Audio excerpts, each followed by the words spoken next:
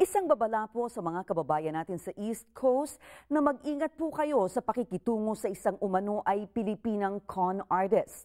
The Philippine Consulate General in New York is warning kababayans about 55-year-old Merlin Gakayan, a former resident of Queens Village who disappeared after non-payment of rent since she moved in that apartment in 2012.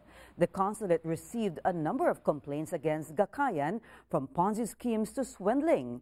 Gakayan turned out to be a convicted swindler in her native Cebu for estafa and illegal recruitment in 2010.